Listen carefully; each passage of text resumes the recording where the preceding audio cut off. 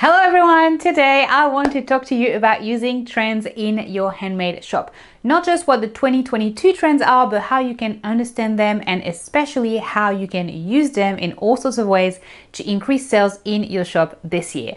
Now, in this video, I'm not going to talk about how to find and research trends because I already have a video about this that I will link to down below. I also have a workbook to help you do your own trends research when coming up with new products or new collections. So make sure that you download it below as well. Today, I'll be talking about the 2022 trends and how you can actually use those trends to improve your handmade business this year. One of the trends report that I will be talking about today is the Etsy trends report because even if you don't sell on Etsy, this data is very valuable for you the trends in the report are relevant to any handmade business, whether you sell on Etsy or not. Ready? Let's dive in.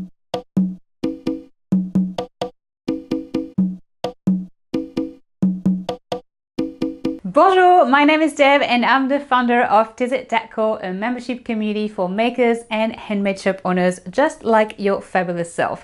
You can learn more about our community, Tizzit HQ, via the link below this video. But for now, let's jump straight into today's conversation the 2022 handmade business trends and how to use them to increase your sales. I have broken the trends for 2022 down into subcategories, and the first one we're going to discuss is color because that is something we just have to talk about. I have three points I want to talk to you about for color trends. The first one is Pantone.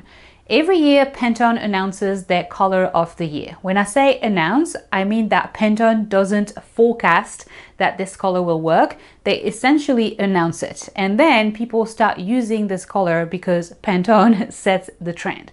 They are a really strong influencer in the color world, probably the most influential company in the world when it comes to color. And so when they announce that the color of the year is this, you can expect that big brands, big fashion designers, and big retailers will use that color or variation of that color in their product this year. So it's very important to know what it is because as we start seeing it more and more, customers will get used to it and then will want to start buying products that have that coloring too. So let me show you quickly what this year's trending color is. It's called Very Peri and it's essentially like a violet color. Now take a look at the color and think about if it will work for your brand. If it's completely out of brand for you, that's fine. But if it's something that could work for your brand or some of your products, even if you don't really like that color yourself, consider using it. Next, let's take a look at Etsy's trend report. Even if you're not selling on Etsy, as I was saying before, I'm going to be mentioning this report a fair bit in this video, simply because it's a handmade industry report that is relevant for you whether you sell on Etsy or not. This is a great report that shows what colors people were looking to purchase from smaller shops in a variety of categories, what handmade products they were actually looking for, what colors and the trends in specific industries, Etsy also announces a color of the year and they have named emerald as this year's trending color. Now, the difference between Etsy's approach and Pantone's approach is that Pantone sets the tone. They say, we want purple, and people go design purple things. what Etsy does is look at the data and they determine that emerald has been searched for more on their platform. So they forecast that it will keep being searched for and be a big color for 2022. So it's more based on the data that they already see. So Etsy's color trend is very important because it's driven from customer data people actually searching for emerald increased 67% in 21 on Etsy, and so they expect this to continue. When looking at trending colors, you also want to think about what colors are going to complement those main trending ones because obviously it's not like everything this year is going to be either very peri or emerald green, right? What I mean by this is that you not only want to be open to using those trending colors, but also consider what the trends in terms of color palettes are. And when it comes to palettes, I like to go to the decor niche. So for example, go to paint company websites like Dulux or Benjamin Moore and look at what they're forecasting, the trends and the color palettes. Let's take a look together at trending color palettes on Dulux. In 2022, Dulux has three main trending palettes, not just one. This Flourish palette, for example, is a trending palette that will complement a color like emerald green really well. You can see the colors look rich, earthy, deep and cozy, dark tones of blues, reds and golds.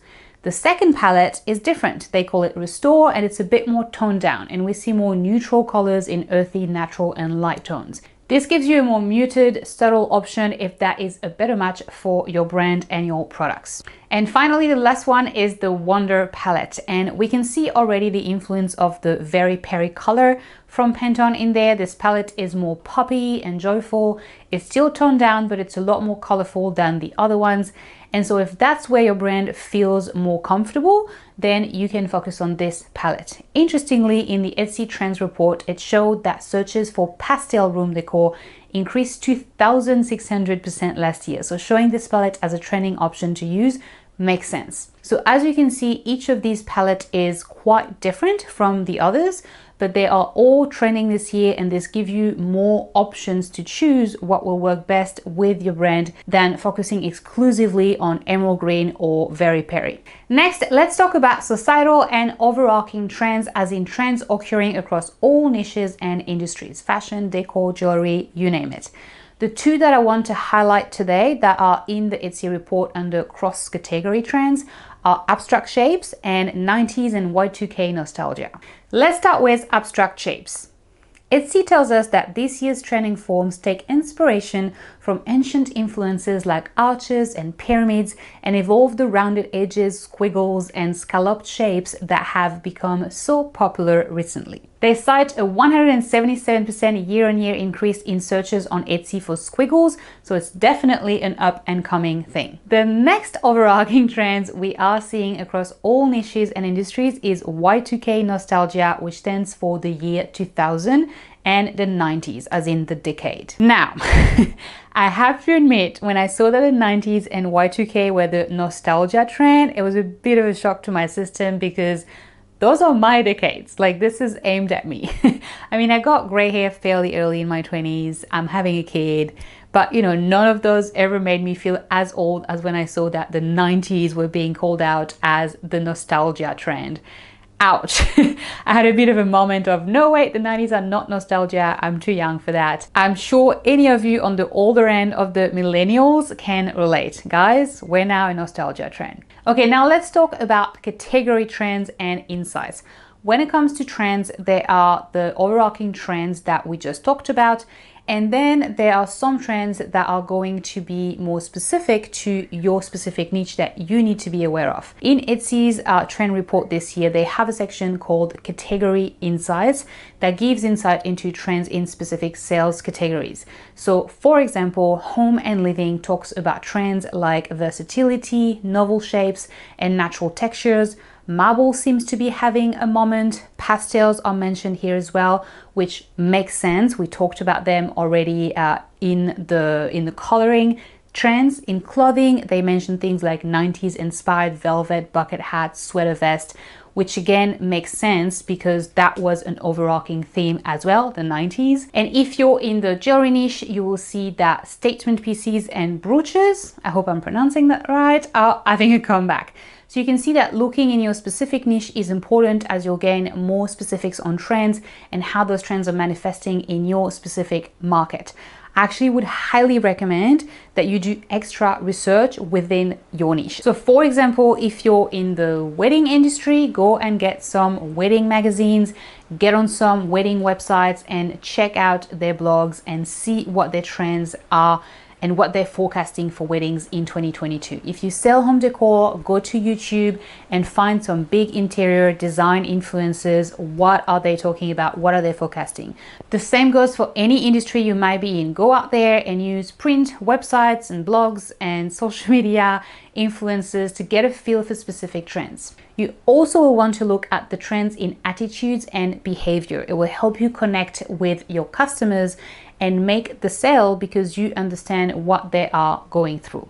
Here are some of the latest trends in this area. The first is wellness and self care. There is a fair amount of research out there uh, which shows that the pandemic has definitely changed how people think about their life and what they want from it. There is definitely a big push for self care, wellness, mental health, and burnout prevention. So, if your products in any way can help with that, I would definitely use that as a way of positioning them. The next trend is pursuit of purpose. People want to do things that are meaningful and they want products that are meaningful. They prefer to shop for things that have meaning to them in one way or another. Another up and coming trend we are seeing is imperfect curation people are a bit tired of everything being perfect and so there's actually this trend now of things like pictures with no filter people with no makeup shocking people with no makeup can you imagine essentially showing up a little bit more raw and natural because people are just a bit too aware of how overly curated things have been in the past. Now, that's not to say that there aren't also some crazy filters on like Instagram and TikTok, but they are so obviously filters. People looking at them are aware that these are filters. And overall, there is definitely a growing appreciation for imperfect curation. So, if that's something that would work for your brand, it's definitely something to consider tapping into. I also want to talk about social commerce and video and the fact that they are both going strong. In social commerce, we are seeing a trend where platforms like Instagram and Pinterest are making a big push towards e commerce on their platform. This means that people stay on the platform to buy or to discover products. They shop and check out on the platform. So it's definitely something that you want to start doing, whether you're on Instagram or on Pinterest. You want to be at the forefront of that trend, not catching up when everyone's already using these features, you know, two years from now. Videos continue to grow in popularity pretty much everywhere. Um, Etsy at the time I'm recording this is even testing a video option called Etsy Explore where you can create and upload video posts for your shop's homepage on the Etsy shopping app. So it's obvious when you see these trends that social commerce and video aren't going anywhere and that the two are more intertwined than ever. So as you can see, it's really valuable for you to know how to use trends to improve your shop and increase sales. Now I've given you some tips through this video as we were looking at different trends, but I want to summarize them here so you can see the wide variety of ways that you can actually use trends for your business. If I had to sum up what you can do with trends, I would say that trends can be used to get product ideas on many different levels, including uh, new products, new collections, a new category of items that you could add to your shop, new product variations, and new color options, all without necessarily reinventing the wheel. Think about it, you probably already have some products that you can offer in a pastel or an emerald or another trendy color from those palettes and colors that we've talked about. And so it's not a new product per se, but it's a new offering in terms of the yarn color that you offer, the paper color that you offer, the clay color that you use for your jewelry, etc. But don't stop there. I think that unfortunately, using trends for new product creation is often where most people stop, but there's so much more that you can use trends for. Use trends for updating your shop, website graphics, and photo stylings. If you are using lifestyle images or mockups in your product listings, for example, make sure the mockups and the props reflect the current trends. You also want the current trends reflected in the banner on your website or on your Etsy store. And on social media, you will obviously be sharing your own products photos, but most of you are probably also using lifestyle or stock images. Make sure that those reflect the current trends, the current colors, and different shapes that people like to see so that your feeds and your social media posts look relevant and appealing.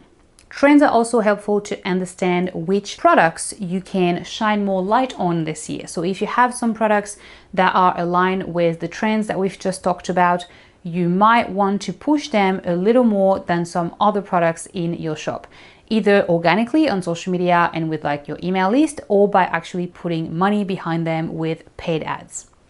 And finally, trends are great for content creation and copywriting. For content creation, it's really all about video. You need to be diving into this if you haven't yet. Video is becoming more and more and more prominent on everything from websites and blogs to social media. They all want us to do more video. So that's definitely the number one content trend you'll want to keep top of mind. For copywriting, it's really about your product listings descriptions and your captions on social media which breaks down to how you position your products and the benefits of your products uh, and what they offer. So, for example, if your products are relevant to wellness or mental health, then definitely position them as such and make sure that you talk about this in your listing. When writing captions for social, knowing the overarching trend is going to help you come up with content that's going to connect with people a lot more on social media. So, for example, if you use funny memes as part of your social media content strategy,